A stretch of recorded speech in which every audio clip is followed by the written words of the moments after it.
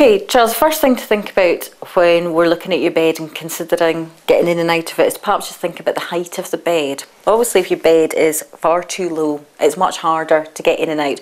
Of getting in, you'll find yourself dropping onto the bed. The best way really to gauge the height of the bed is what we're ideally aiming for. is when you're sat on the bed, really your hips and your knees should be more or less in line. Your hips perhaps just slightly higher than, than your knees. So if you want to just sit down on the bed and we'll just gauge how that suits you.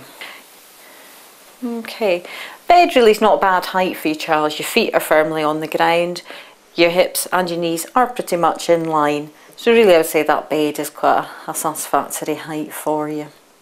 Obviously if your bed is far too low, it's much harder to get in and out.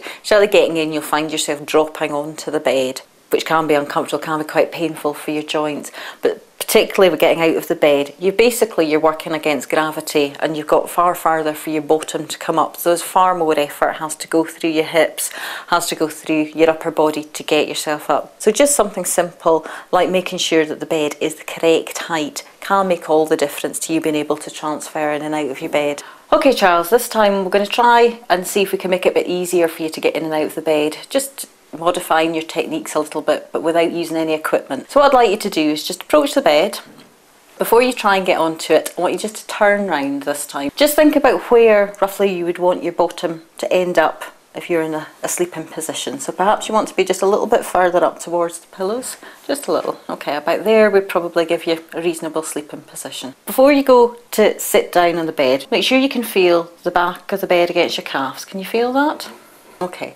What I want you to do is as you sit down, I want you just to stick your bottom out. So we're trying to get your bottom as far back across the bed as we can because by doing that, that makes it easier for you to lift your legs in and out. Okay, so just feel for the bed. You can hold onto the bed, that'll give you a bit extra support. Try and get your bottom as far back as you can as you sit down. Move your head down towards the pillows and lift your, your legs up at the same time. So you're moving your body in one movement. So head down, legs up, swivel round, if you need to adjust your position and you find it's kind of difficult to, to move across the bed, if you just place your hands by your sides, either side of your hip, and just arch, try and arch your back a little, that should, that's it. So you're using your upper body strength as well, just to help you get yourself moved across the bed. To get out of the bed, we're really just going to use the, the opposite motion. So we're going to get ourselves your legs, start to bring them to the side of the bed. As you drop your legs down, you're going to bring the top half of your body back out. Use my hands. You can use your hands to assist again. Give use that to get as much purchase and as much leverage as you can. That's it. Just push up.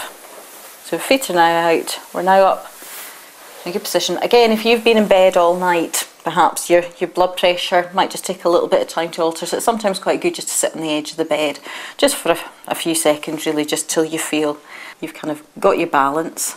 Okay, and again, just use the bed to help.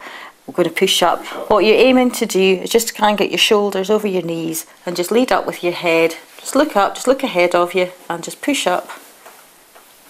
And that's it, and just straighten yourself up. Lovely. Okay, Charles, you've tried getting in and out of bed using a few techniques. Potentially you might still have a bit of difficulty in doing that. This bit of equipment which you're holding is what's called a bed lever. It's a simple piece of equipment, very easy to fit. The bed lever just gives you really a bit of extra purchase to help yourself get in and out of bed. So what we're going to do is just going to get you just to fit it to the bed. Now this particular type of bed lever is suitable just for a standard divan bed. There are other bed levers on the market that are available for wooden framed beds where the mattress will be sunk into the base. So you would need a slightly different make of bed lever for that. What I want you to do Charles is it just slots simply between the base of the bed and the mattress. Now it can be adjusted up and down the bed and sometimes you, you might want to kind of play about just to kind of get the kind of optimum position for you. If you find that that is moving around, there are strap kits available which fit quite easily, which help to hold that onto the bed.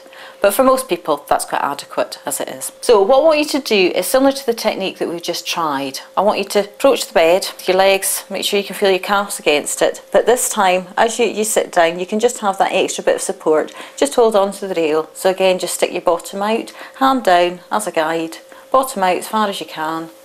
That just gives you that little bit more support, which can help just to lower you down onto the bed. It can take out that dropping down onto the bed. And again, we're going to employ the same kind of technique as we did last time. You're going to aim your head down towards the pillows and bring your... You can. You gently hold on to it with your other hand. With that hand, just to give you that wee bit of support. Okay, using that arm. Okay, again, bed lever can be useful for altering your position. It just gives you something to hold on to just to give you that. And you feel how secure that is now your weight on the mattress holds that lever in place, it's not going to go anywhere. Okay, do you want to try and get out of bed now, Charles? Now again, this is really where the bed lever is probably has the most benefit, is it does just give you that bit of purchase, just to pull yourself over towards the edge, the, closer to the edge of the bed and pull yourself up. Just your hand on there and just as you go to push up. And that takes away the need for grabbing onto nearby dressing tables and bedside units, which aren't secure and which often over a period of time can start to come apart as well.